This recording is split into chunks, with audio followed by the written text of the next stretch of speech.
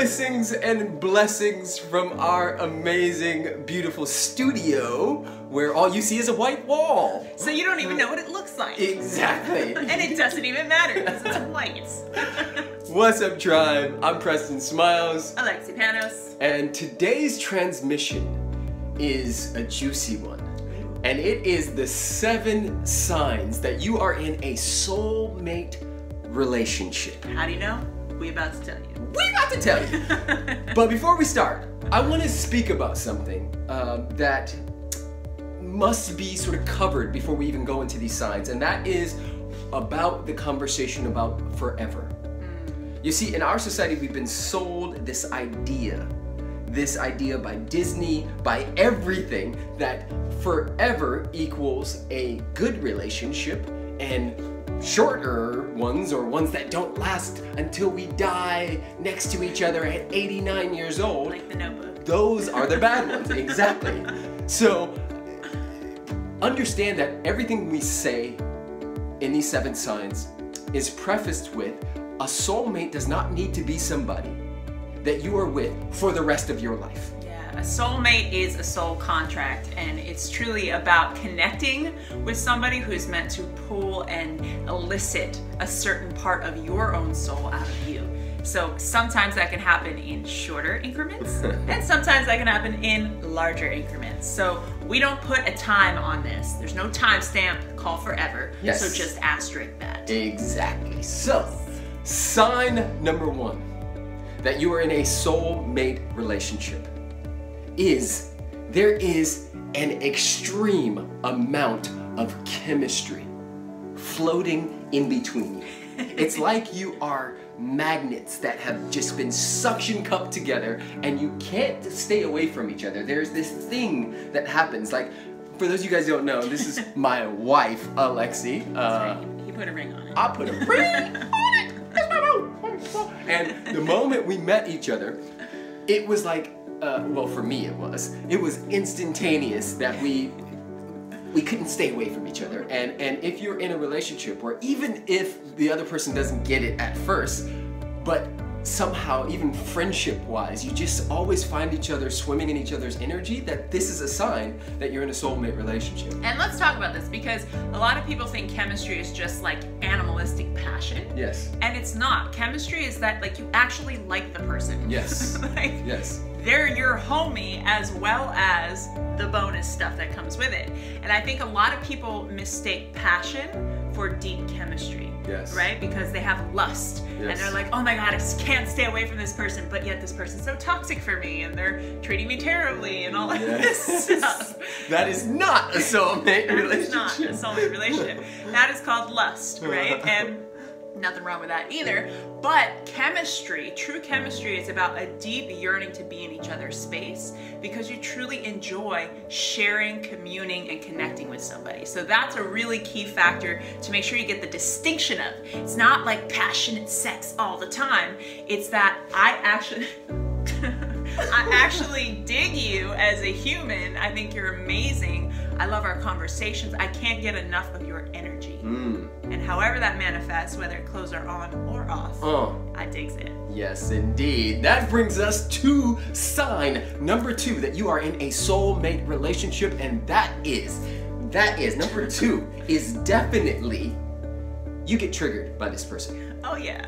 Now, I say this and I made it number two because it's so highly important that we understand that soulmates are our teachers. Yes. These are the people that that bring up some of that stuff that we haven't wanted to face off with or look at in the past. And so they come in and they teach you and trigger you and call you forward. And the thing to really understand about this is there's a difference between a toxic, draining relationship and a relationship that takes work. First of all, all of them do. Second of all, All of them. Wait, pr- press the pause on that. yes, All.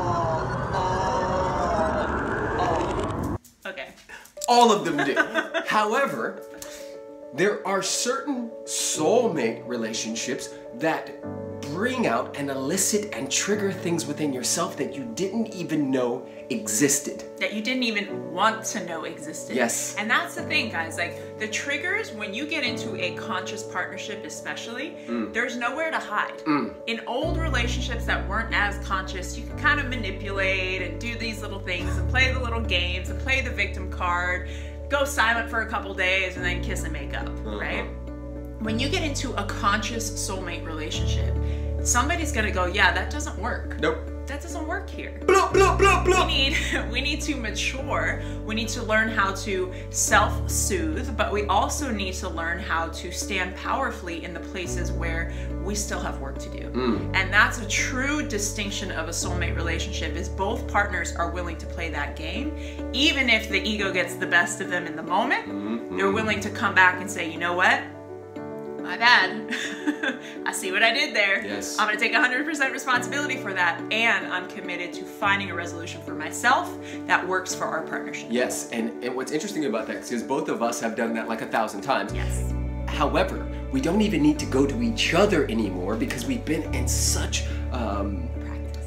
we've been in the practice so deeply that by the time it even gets to the point where it's, you know, because the thing to understand about, and I know I'm jumping around here, but the thing to understand about triggers from a conscious place is, is the trigger is pointing to something within yourself. Always. It is not, I'm triggered by that person, they are to blame, they are a bad human. I'm It- triggered by your behavior Yes. because you did that. And that's why I'm triggered. Yes, exactly. it could be as simple as somebody being um, more apt to ask for support than the other partner is used to asking. It could be as simple. We used to trigger each other. Alexi, funny enough, when we go to the grocery store, we had like a dinner party, right? I'd say, well, it's a potluck. People are supposed to bring stuff. She wants to buy everything in the grocery store for everyone at the potluck. And I'm like, well, Well, that's a bit of an exaggeration. But I like to have some stuff there for people to start with. some stuff. She was buying everything. Guys, I like to host. Yes. I, I was taught that as a host, you See? make sure See? that you have certain It's happening on camera right now.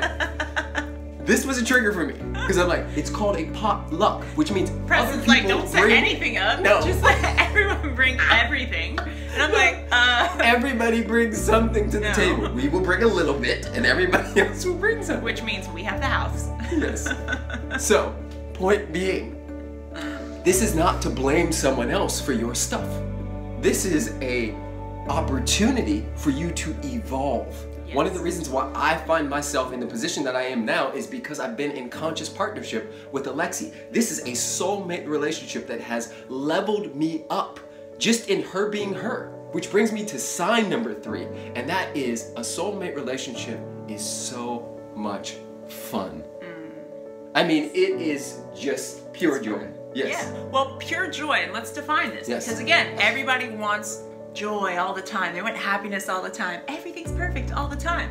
That's not what we're saying. Joy for us encapsulates the ride. Yes. right? And and we talk about the ride as like a roller coaster, right? People wait for hours, like two to three hours in line for these roller coasters, Yes. right? Why? Because they want the thrill of the up, the oh my gosh, something's gonna happen, something's gonna happen. Drop! And then the drop, your stomach's up in your throat. You're like, oh my god, make it stop. This is crazy. I can't stop. I don't want to do it. I don't want to do it. You're screaming. There's like snot and slobber coming out from all orifices.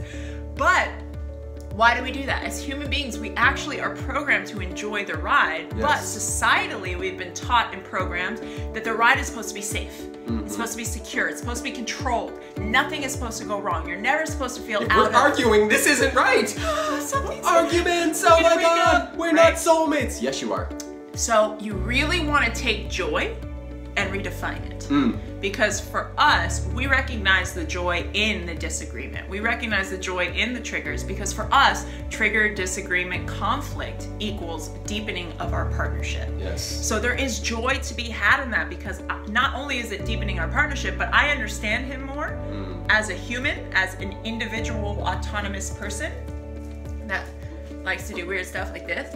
And he understands me more in that way as well. And what does that create? It only creates a deeper understanding of each other. Yes. Which brings us to a deeper understanding of presence where we can be in deeper joy Rastafari. in whatever it is we do. Because we're not trying to change the other. Exactly, exactly, guys. It, I, I- I can't tell you how many times I've been um, just sort of stalking her by staring at her while she's asleep and just going like, It's not weird. yeah, it's not weird at all. Um, just going like, this shit, this is like s- stealing candy from a baby. Now I don't even understand where that term came from and why anyone would want to steal candy from a baby. Why isn't anyone giving candy to a child? Yes, Let's and talk about that. let's just not eat candy anymore. Let's talk about that Western world. Yes, but you get the point.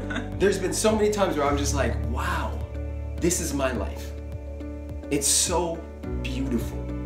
And one of the things that, and I'm just gonna say it different than Alexi, but it's the same thing.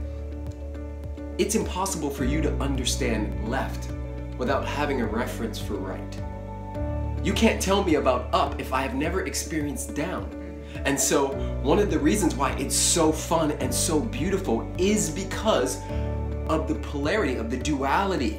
It's all the same thing, right? And we can find it in the soup, right? Just being in the dance. Alexi and I are in the dance. That means good, bad, ugly, indifferent. That means the profane and the profound. That means the entire thing. And that is why our relationship is so damn strong because we're not trying to get the rainbows and butterflies all day, every day. Yeah. However, when those do come, and they do, we embrace those just like we embrace the rest of it. Mm-hmm. Yeah, so joy, really redefine what joy means to you and and doing that in your relationship will shift how you relate to the rest of your life as mm. well, by Yes. the way. Because if you're constantly trying to control everything so that it's all perfect and it's all happy all the time, you're gonna be miserable. It's a conundrum, right? You- it's sure. a paradox. You cannot control this thing. So let go a little bit, surrender, Uh-huh. You waited in line for it, so just might as well enjoy it. Right? Just wait. Sign number four Sign number four. that you are in a soulmate relationship. How do we know? How do you how do you know? How, how do I know? Do you know? Tell me. Do you know? You tell me. Is that there is a soul recognition. There's a familiarity that's there in the air. There's this thing where it's like, I've met you before. I know you. We've done this dance. Uh-huh. yeah, and soul recognition is really special. It's something that you can't manufacture.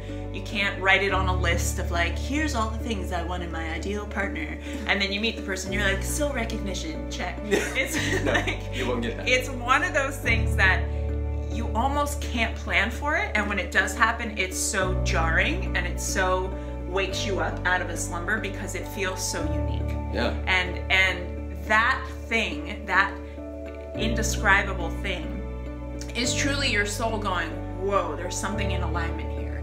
Something about how i vibrate matches up with something about how this person vibrates. And whatever that is whether you want to say past lives or this this and that whatever you want to say there's a match. And if you can acknowledge that match and lean into that match mm. and just see what's there because sometimes that match will line up and it's just a friendship. Yep.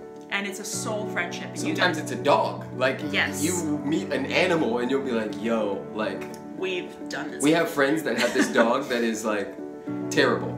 Um, and it's not a terrible dog. It does the dog doesn't like me. Um, That's but- why it's terrible. Yes, I love this dog. But the dog, every dog likes me, but this dog. And the dog and the owners, both of them, but one of them in particular, the the, the female, they're like sisters from like 13 lifetimes They ago. absolutely They have a a deep soul recognition that is like it just boggles me. So it's not even always with your partners, um, and sometimes it's like with a grandfather or a grandmother. You're just like, yo, like I love my mom, but like something about that person yes, clicks. yes, And so recognizing that and actually leaning into that with whoever it might be, whether it's a friend, an animal, a stranger that you might meet where you're just like, whoa, something in here just gels. Yes. Just vibes. Really leaning into that versus kind of chalking it up to just, you know, oh, that, that was weird. Like, lean in. Mm-hmm. Yes. like, we're getting so many signs all the time that life is really magical. Yes. There's all these juicy parts of life that we're just so busy that we don't even see. So tune in, tune into yourself and lean in. Number five, the fifth reason or sign that you are in a soulmate relationship is there is. I'm gonna do it. Uh, don't do that stupid ass thing. This is a dance that I absolutely hate. She made this dance up. It's like a bird dance. It's a stupid dance. It's the bird dance. However, it a leads me into number five, which is there is a deep respect. Number five is dance. all about respect. You know you're in a soulmate relationship when there is just this thing amongst you that's like, yo, I see you. And you feel seen. There's this part of you that's like, you know what? I respect their ideas, I respect their hustle, I respect their love, I respect their gangster, I respect what they've been through, and they they respect me as well.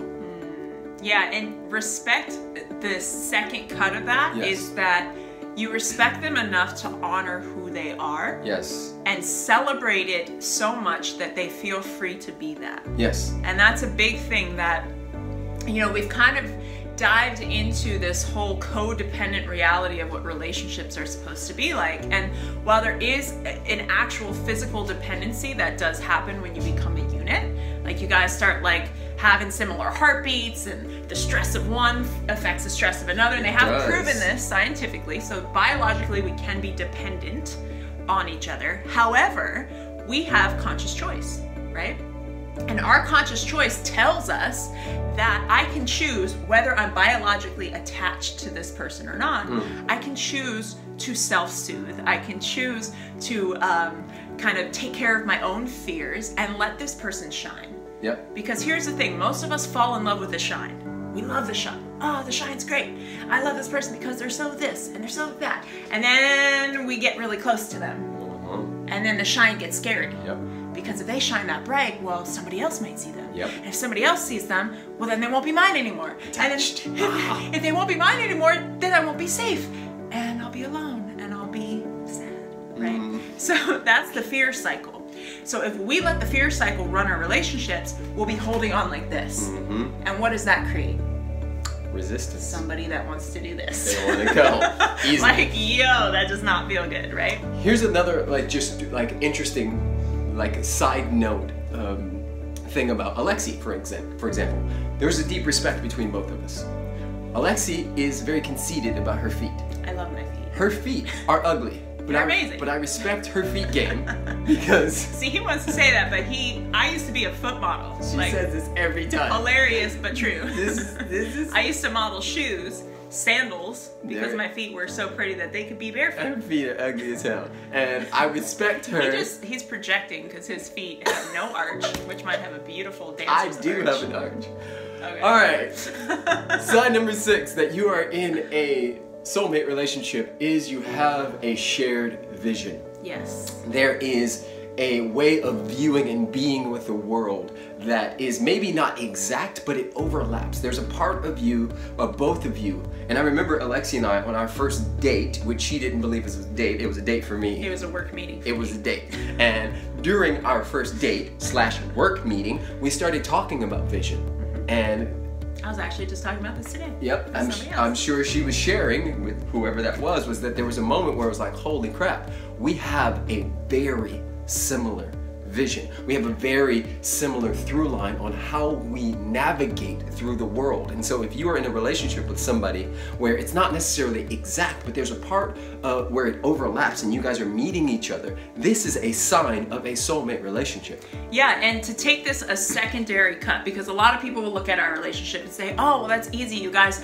do the same work and you do the same stuff, and do I need to find someone that does the same thing as me? No. No. But you do have to have a similar vision for what the relationship means mm. for your lives. Yes. So you guys can do two totally different things, two totally different jobs, totally different lives. But when you come together in relationship and partnership, you've got to make sure that that partnership has a shared purpose. For some people, partnership is all about like diving deep and becoming the best possible versions of ourselves through a committed partnership. Mm. That's our relationship vision. That's what relationship means to us. For some people, relationship is about exploring their sexuality.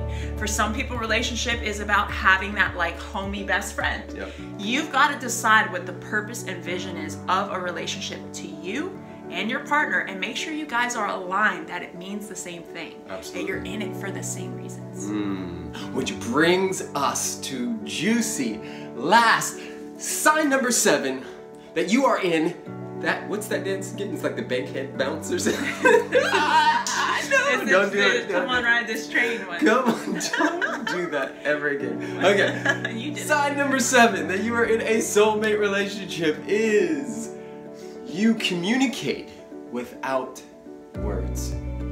There is a thing. You are so deeply connected that when your partner is off, you know it. When your partner is doing some dirt that they shouldn't be, you know it. When, when your partner is in their love space and experiencing so much joy, you can feel it whether you are in the room or not. There have been so many times where I've known that I was in trouble just based on the way she was looking at her computer. She didn't even look at me. She was looking at her computer. I'm like, yep, I'm in trouble. It's about to happen. Because to I know intuitively I can feel her. We're so attached that I can feel when she is off and when she's on. And when she's stressed, and when she's uh, feeling, you know, frisky, you know what I'm saying? I can feel the sex, yes! Yeah, and the big part about this, guys, this goes back to that biological connection. We are actually scientifically, biologically feeding off of each other. yes. My vibration affects his vibration.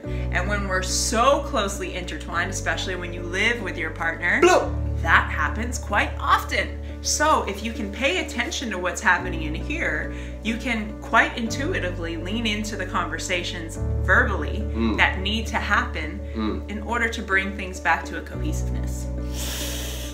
All those things. There you have it, my There you people. have it. We love you so much. Blessings and blessings. If you are new to the tribe, new to my vibe, our vibe, the Partners in Shine vibe, if you are new and you're on YouTube or Facebook, I ask that you A, tag somebody, B, leave a comment and tell us which one of these seven resonated the most for you. Like, in terms of like, which one do you need to take on? Exactly. Like, oh, I need to lean into that one a little bit more. yes. Mm, yeah. And C, click the share button and share this with as many people as possible.